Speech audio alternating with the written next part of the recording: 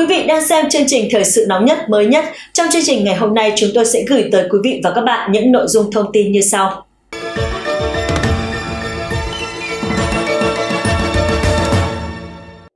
Bản tin lũ lụt Trung Quốc mới nhất ngày 28 tháng 8 năm 2023 Thưa quý vị, tin tức từ CNR Thạch Gia Trang ngày 27 tháng 8 cho biết, tính đến sáng ngày thứ ba, hơn 40 hồ chứa lớn và vừa ở dãy núi Thái Hàng và dãy núi Yên Sơn của tỉnh Hà Bắc đã tham gia điều tiết lũ, tích trữ gần 3 tỷ mét khối nước lũ và giữ vai trò chủ đạo, chức năng hồ chứa để cắt lũ, cắt đỉnh, tăng cường công tác dự báo, cảnh báo sớm, có 223 trạm thủy văn, 568 trạm đo mực nước, 2.782 trạm đo lượng mưa và các trạm quan trắc khác trong tỉnh thực hiện dự báo mực nước và dự báo lượng mưa, đồng thời mã hóa, báo cáo, tổng hợp và tải lên các thông tin như mực nước lưu lượng lớn và vừa của các hồ chứa nước và các sông lớn trên địa bàn tỉnh vào bất kỳ thời điểm nào. Trung bình mỗi ngày có khoảng 1 triệu mẫu thông tin khác nhau về chế độ nước như lượng mưa, mực nước, lưu lượng, khả năng trữ nước, hỗ trợ đắc lực cho các quyết định phòng chống lũ lụt, tăng cường chuyển giao tránh rủi ro và kích hoạt trật tự các khu vực chứa và giữ lũ. Các địa phương đều theo dõi, phân tích quá trình đỉnh lũ, dự báo trước thời gian xuất hiện đỉnh lũ, chủ động sớm di rời, tái định cư nhân dân vùng lũ, giữ lũ.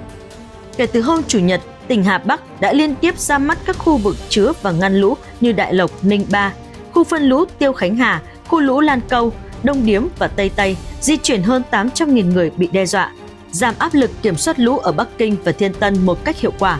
Tính đến 8 giờ sáng ngày 27 tháng 8, các hồ chứa lớn và vừa trên địa bàn tỉnh có tổng dung tích nước là 4,463 tỷ mét khối, 31 hồ chứa có mực nước vượt ngưỡng lũ đang tiến hành xả nước.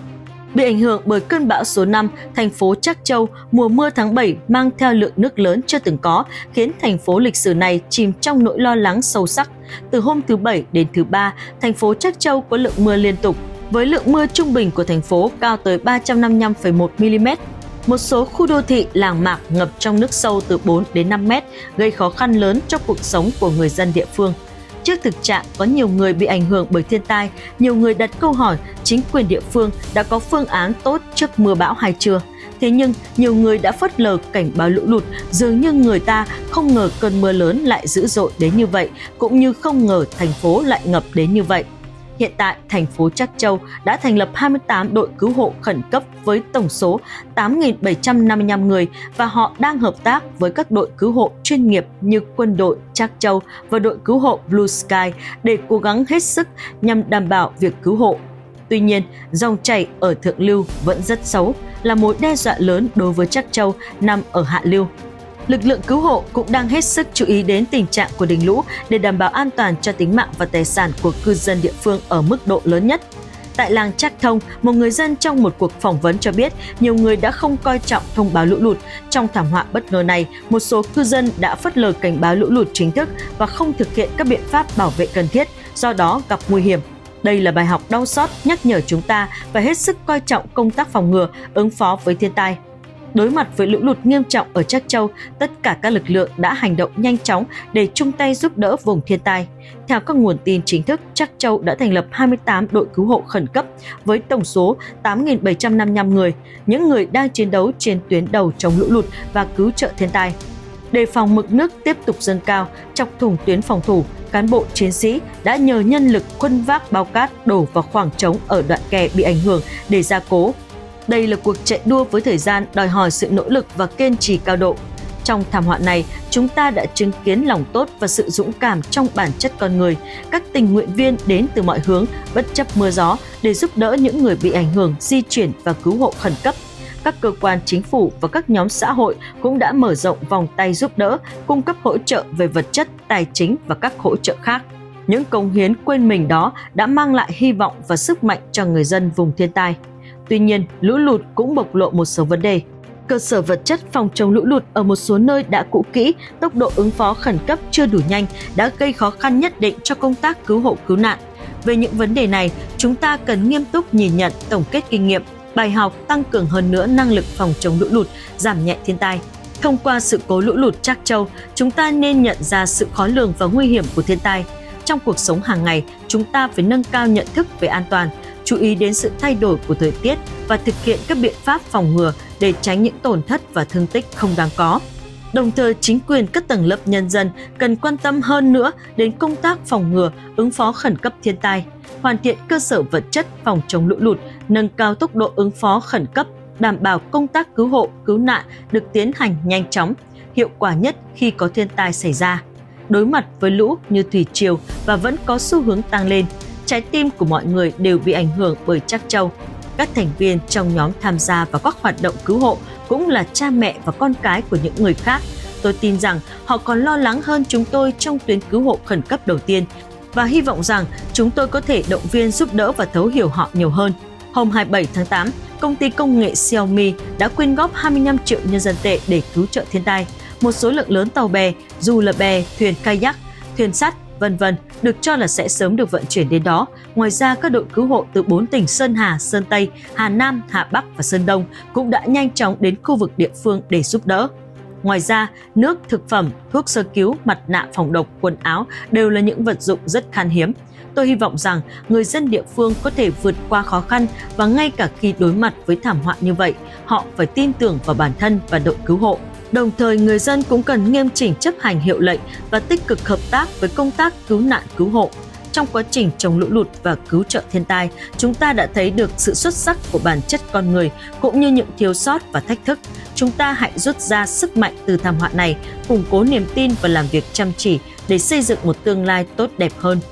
Người dân Chắc Châu chúng tôi sát cánh bên các bạn và nhất định sẽ vượt qua thời điểm khó khăn này. Trong trận chiến chống lũ lụt và cứu trợ thiên tai này, chúng ta đã thấy tinh thần đoàn kết và công hiến quên mình của quân và dân. Từ các sĩ quan và binh lính PLA cho đến các tình nguyện viên, mọi người đều đóng góp cho khu vực thảm họa theo cách riêng của họ.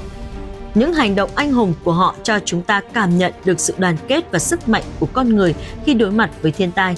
Tuy nhiên, chúng ta cũng nên nhận thấy lũ lụt đã và đang mang đến những mối đe dọa lớn đối với cuộc sống và tính mạng của con người.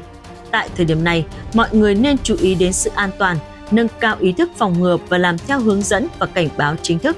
Chỉ bằng cách này, chúng ta mới có thể đối phó hiệu quả với các nguy cơ lũ lụt trong tương lai. Lũ lụt ở Trắc Châu đã rút, trận chiến chống lũ lụt và cứu trợ thiên tai đang dần đi đến hồi kết. Tuy nhiên, chúng tôi không thể quên tất cả những người đã làm việc chăm chỉ và đóng góp cho trận chiến này. Họ đã chứng tỏ sức mạnh và lòng dũng cảm của con người bằng những việc làm thiết thực cho chúng ta thấy sức mạnh của đoàn kết, tương trợ. Hình ảnh vệ tinh cho thấy Trác Châu, Hà Bắc bị ảnh hưởng nghiêm trọng bởi thảm họa. Hơn 100.000 người đã được chuyển đi. Trong đợt mưa lớn này ở Bắc Kinh, Thiên Tân và Hà Bắc, lượng mưa trung bình ở Trác Châu, Hà Bắc vượt quá 350 mm. Tình hình kiểm soát lũ lụt rất nghiêm trọng và hơn 100.000 người đã phải di rời. Hình ảnh vệ tinh cho thấy do ảnh hưởng của lũ thượng nguồn, dòng chảy của nhiều con sông như sông Tiểu Thanh và sông Bạch Câu đã tăng lên, nguy cơ lũ lụt sông và ngập lụt đô thị tăng lên, tình hình kiểm soát là rất nghiêm trọng. Tính đến tối thứ hai vừa qua, diện tích các vùng nước mới được bổ sung trong khu vực thiên tai là khoảng 21,55 km vuông và diện tích đất canh tác bị ảnh hưởng bởi thiên tai là khoảng 8,45 km vuông. Trước đợt mưa lớn này thì vào ngày 23 tháng 7 năm 1891, một trận mưa lớn 609mm đã được ghi nhận ở khu vực Bắc Kinh. Đây là lượng mưa lớn nhất từng được ghi nhận. Giá trị cực trị của quá trình mưa này đã vượt qua đáng kể giá trị cực trị của lượng mưa ở khu vực Bắc Kinh kể từ kỷ lục của công cụ vào tháng 7 năm 1883, đứng đầu về lượng mưa ở khu vực Bắc Kinh trong 140 năm qua. Lượng mưa ở Thiên Tân tương đối ít, từ 7 giờ sáng thứ Bảy đến 11 giờ trưa thứ Ba, lượng mưa trung bình là 118,2 mm, lượng mưa lớn nhất là 238,1 mm. Văn phòng Quản lý Hồ chứa Mật Vân Bắc Kinh cho biết, trong trận mưa lớn, Hồ chứa Mật Vân đã tạo ra đỉnh lũ kép trong vòng 10 giờ và dung tích chứa nước tăng hơn 8.000 mét khối. Được biết, từ 8 giờ sáng thứ Bảy đến 8 giờ sáng ngày 27 tháng 8, do chịu ảnh hưởng của cơn bão số 5, lưu vực Hồ chứa Mật Vân đã xảy ra mưa lớn đáng kể. Lượng mưa trung bình ở lưu vực là 120,8 mm. Lúc 5 giờ 30 phút ngày thứ ba, trạm thủy văn Trương Gia Phần có lưu lượng đỉnh 1.000 m khối trên giây. 10 giờ sau, tức 15 giờ cùng ngày, trạm thủy văn Trương Gia Phần lại đo được lưu lượng đỉnh 1.430 m khối trên giây. Đó là hồ chứa Mật Vân. Trận lụt lớn thứ tư được đo tại trạm kể từ khi hồ chứa được xây dựng.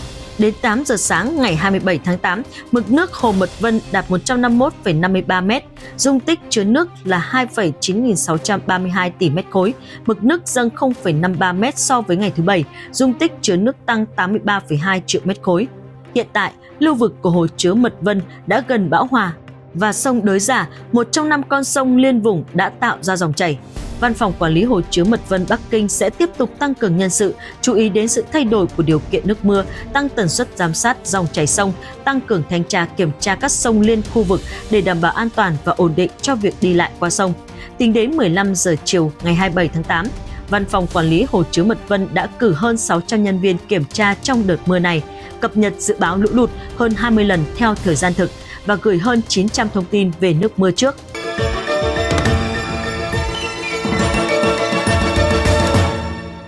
Những thông tin vừa rồi cũng đã khép lại bản tin của chúng tôi ngày hôm nay. Cảm ơn quý vị và các bạn đã quan tâm theo dõi. Xin chào và hẹn gặp lại.